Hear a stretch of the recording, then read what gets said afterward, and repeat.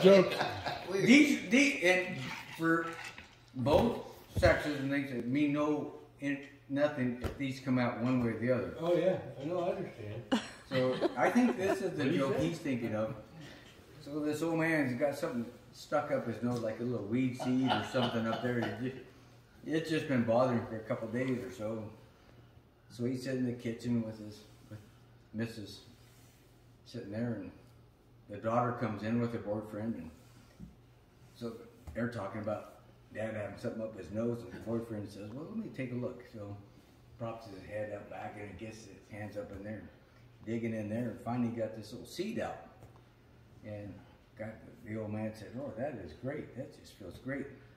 So the kids went into the TV room. They're not videotaping this. No. He went into the TV room with the, the daughter and the, and the boyfriend.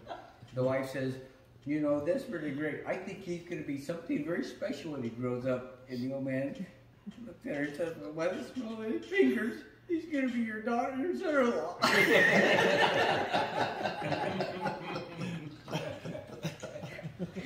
I'm sorry. I am sorry. I, that's terrible. I'm sorry.